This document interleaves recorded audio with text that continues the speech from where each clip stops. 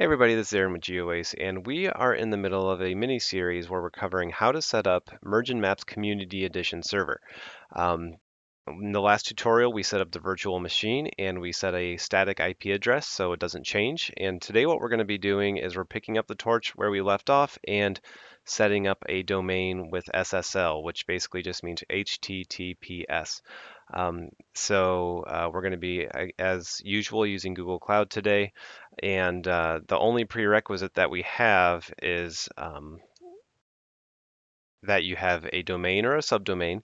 And uh, you note that if you don't have one currently, you can even get one for free by going to noip.com.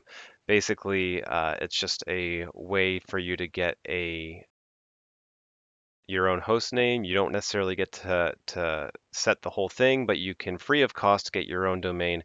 I think it's on a 90 day rotation before you have to renew it. So with that being said, uh, we've covered the prerequisites. Let's go ahead and dive in and get started. I'm recording this after the fact. Uh, before you get started with the tutorial here, make sure you check your server. Just click on it and then go to edit and check for HTTPS and HTTP being allowed on the firewall. Just these two check marks, make sure that they're good to go and uh, hit save. All right, so the first thing that we're going to do is we're going to turn on our virtual machine and perform a couple operations here to get this up to speed. You'll notice that I hit the start resume button. While it's firing up, you can go to, um, it's an open source repository that we've created. It's github.com. I'm going to go ahead and split screen this, that way you can see the commands. Now that I've stalled, we should be up and running. Yeah, it looks like we're good to go here. I'll go ahead and hit SSH and we're going to connect to our instance and just check the show notes for this GitHub repository name. I'm going to go ahead and authorize here. All right, so you'll notice here that we've made some notes just about, I guess, pre-setup, if you will a lot of these virtual machines come kind of pre-cooked with Apache 2 running. We do not want that. So I would recommend just go ahead and run these first four commands real quick to make sure that you are um, not running Apache 2. Otherwise, it's going to interfere with the next steps. So let's just run through. All right, cool. Once that's done, we're going to go ahead and clone this repository here. This is honestly, it's just a easy way to get SSL up and running. Um, you could do an on virtual machine installation of Nginx. This is kind of just what we use as our baseline stack before we start adding things like Mergin Map Server onto it. We're going to hit ls slash a to make sure that we have our repo. We do certbot nginx So I'm just going to go into that. And looks like we got everything we need. Um, from in here, we basically need to make our startup script executable. We need to make it runnable. Uh, so we're going to hit that command. And then we need to make a directory for certbot to use. So we're going to make directory conf and from there, we have a super simple environment file. So we're gonna we're gonna copy the template that we've created here into a .env folder here, and then we're gonna edit it. So um, nano.env, and you can see there's only two things that we need to fill out. The first is your contact email address. This is something that CertBot's going to send you basically saying, hey, you need to renew. I'll just put in mergintutorials.gmail.com and the app domain. In this case, the domain that we're going to be using today is openenterprise.net. Now this could be whatever your domain is or subdomain. We just have it going to the root openenterprise.net. We're going to hit exit. We're going to save. I guess one quick thing to note is nano docker compose dot. On the very last command here, there is a dry run that's commented out. For this use case or for this run, we want this dry run. So let's take out that comment. We're going to hit exit. Add it in our dry run argument. And now all that's left to do is just run this thing. So docker compose up, and this is not going to give us SSL just yet, but this is setting the stage for it. All right, so now that that's good to go, we should be able to go to the IP address, not the domain, but go to the IP address and actually see a product here. So let's throw that in. It's going to be HTTP unsecured, not secure right there. And you can see that we have this fancy little hello world Docker whale. Um, and that means that everything is working correctly. You can also confirm everything's correctly by going to docker ps. And you can see that we have uh, Nginx running right now, and we have this hello world container going. Now we have this running through HTTP, but this is a video about HTTPS encryption. So um, in order to get that up and running, what we need to do is we need to go back here. We're going to go ahead and copy our IP address. We're going to need this. Um, and we're going to create a zone for it, a DNS zone. So DNS, cloud DNS. And then we're going to go ahead and enable the API. If this is your first time going to this API, you're going to get the same prompt that I just did. Um, it's no problem. Okay, so now that the API has been enabled, we're going to go ahead and create this zone. So grab your domain name, whatever it may be. In our case, it's Open Enterprise. The zone name does not like dots or periods, so we're going to use hyphens for the name, the zone name uh, Open Enterprise Net. And then our DNS name, we must use the periods or dots. So Open Enterprise dot net. We're going to go ahead and hit create.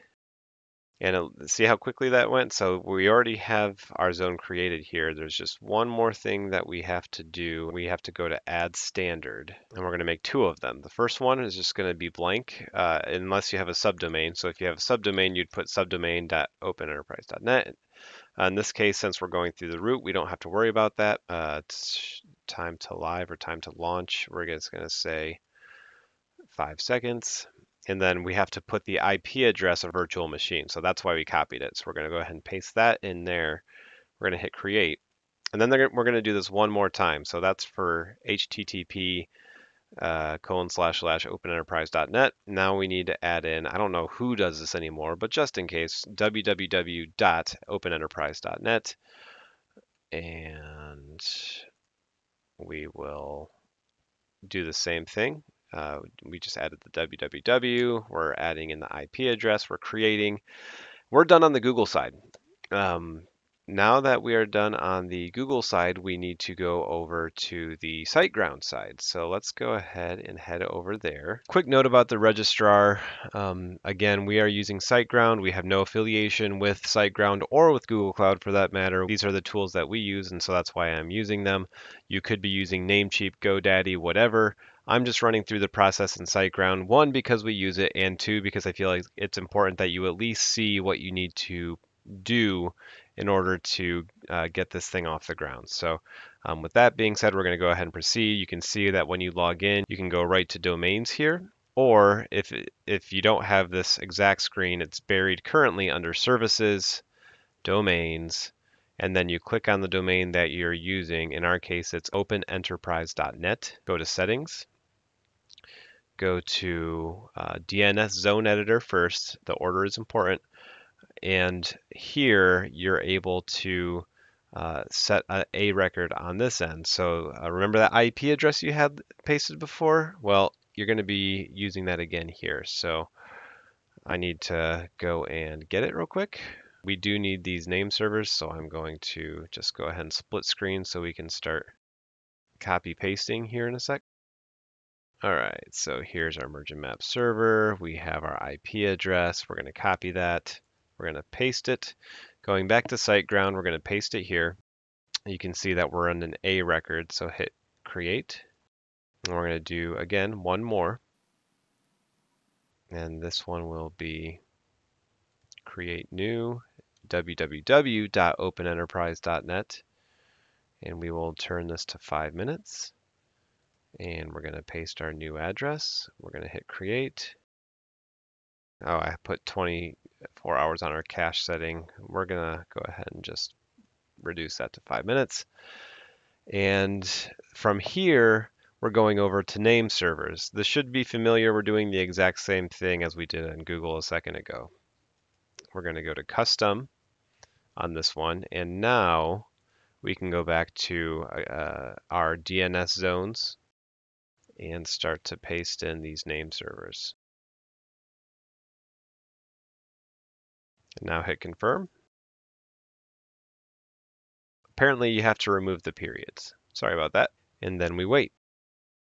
Uh, one thing to note is that when you're first getting this set up with the domain and all that, that it could take up to 72 hours to do it.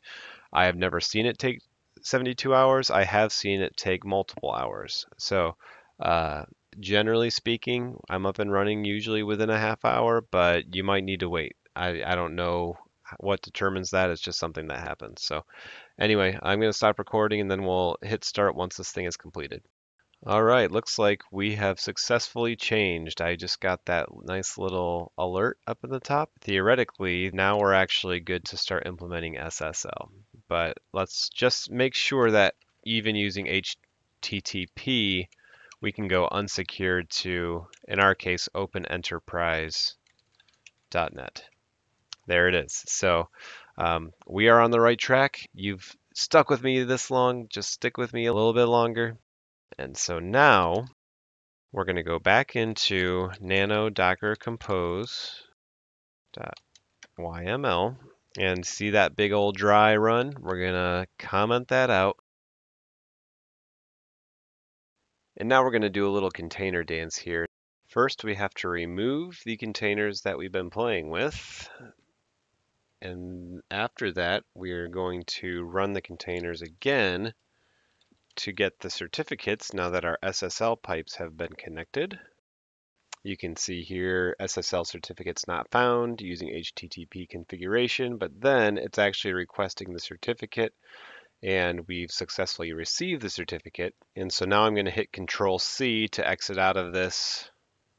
And we need to run this one more time. So let's remove the containers again.